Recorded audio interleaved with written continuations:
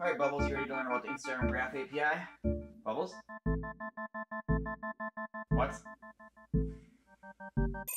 What's up everyone? In this video I'm going to show you guys how to get a user's Instagram posts and their profile information using a single access token. By the end of this video we will have a page that looks like this where we're getting the user's posts and information on their profile. Here I'm targeting the programmer.me Instagram account. I've gotten back their profile information here and below their profile information I'm displaying their posts. And for each post I'm getting back the like and comment count, title of the post, link to the post, the media type, and when it was posted. Here we have a bunch of images. Let's see if we can find a carousel. Here we go. Media type carousel album and we have have all the album images right there. Then at the bottom, I'm displaying out the raw response from Instagram in a text area just for reference. Below programmer.me, I'm displaying out my profile information. So you can see that I'm using the same access token to get my profile information as well as another user's information. Same thing here, my profile information and then my posts. Now before we start coding, we're going to hop over to the Instagram Graph API documentation, looking at the business discovery endpoint. It's important to note that you can only use this endpoint if the Instagram account you're targeting is a business account. The endpoint we're going to be hitting is your Instagram user ID slash business discovery. If you don't know how to get your Instagram user ID, go check out my video on getting an Instagram account ID. Here's our first example here. This is the Instagram user ID, and then uh, you're specifying fields, business discovery. Then we do dot username, and here's where you put the username you're trying to target. Then you can specify the fields you want to get back for that user. In this example, we have the followers count and the media count, and on the end, we have the user access token. So this sample request here returns us this sample response, where you see we've requested the counts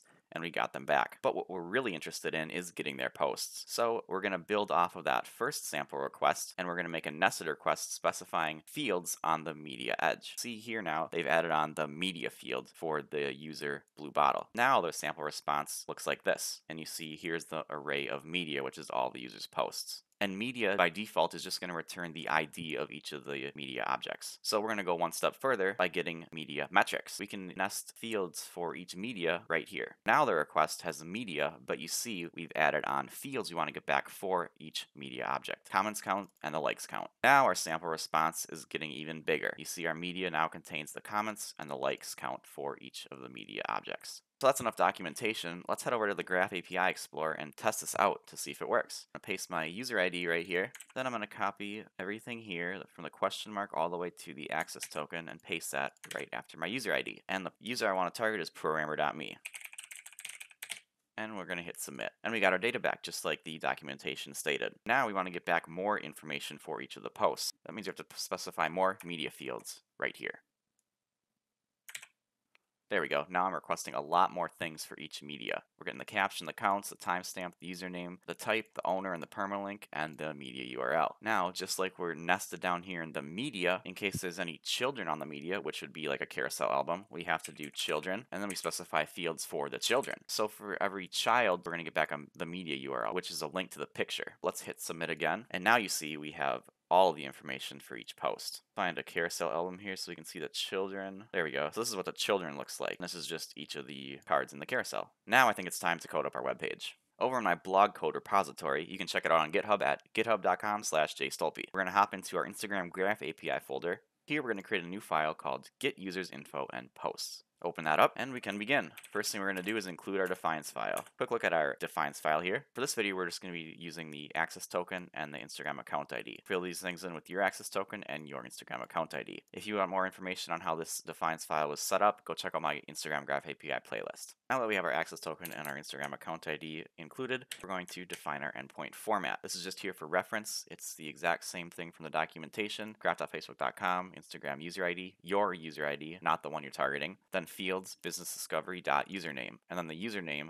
of the user you are targeting. Let me specify all the fields you want to get back for that user, and then here's where we're doing our media query and getting the post back for the user, and we specify all the fields we want to get back for each post. And of course, at the end, we tack on the access token. All right, now let's set up our actual endpoint. Our actual endpoint is right here all the way up to our variable IG user ID, which we're including from our defines file. Again, that's your user ID, not the one you're targeting. Then we can create our users array. This is going to be the array of users we want to get information on. First user I'm going to target is programmer.me. I'm going to create a function that's going to take in a username, the endpoint we're hitting, and our access token, which is coming from our defines file. Then I'm going to also get my information as well. All right, let's create our function. We're going to start out in this function by defining the parameters for the endpoint. This is going to be everything till the up until the access token. We're going to specify our fields. This is going to be business discovery all the way to access token, just like that. Now we have to update this so this is actually targeting the username that we want, which is being passed in right here. So our fields, and then of course we need our access token. All right, so now we have our endpoint and our parameters. We got to tie them together. So we're going to say endpoint dot equals question mark dot http build query on our params. And http build query takes the key and sets it equal to the value. So now our endpoint should look just like this, except the variables will be replaced with our actual values that we're specifying. Now we're all set up to make our curl call. Initialize our curl call, specify the endpoint we've created, set some other curl options here, and then the response. Close our curl call and return our JSON decoded response. Now we will have a nice array of the info for each of these users. All right, let's see if everything's working and dump out our users array. Hit that URL in the browser and looks like it worked. We got our business discovery on programmer.me, all their profile information along with their media, just like it came back in the Graph API Explorer. And after programmer.me, we should see my profile too. There we go. Now we're just going to display this stuff out make it look a little nicer with some HTML and some CSS. I'm just going to copy and paste the whole HTML block here. I'm not going to go into detail on the HTML or CSS because that's not really what this video is about, but you guys can check out the code on GitHub. So let's just look here at the info we're displaying out. We're looping over the users that we got back, and we're displaying out their profile picture URL as an image, a link to their Instagram account, their media count, followers count, who they follow, their biography, and their website. Then in a list, we're going to display out the user's media. So we're just looping over the, the media data array. First thing we do in here is we check to see if the media type is an image or a carousel album. In that case, we want to display out the image tag, so you see an image. Otherwise, it's a video, so we display out the video tag with the source media URL so the user can play the video. Then we have the likes and the comments and the caption for the post, a link to the post, and here's where we check for the children. So if it's carousel album, we have to loop over each of the children, and for each of the children, we're displaying out the image. Then at the bottom, we have our timestamp of when the post was posted, and the raw response here for each user dumped out in a text area. All right, so let's refresh our page here. And now our page looks a little better. Here we have the user's profile information, and below that, all their posts.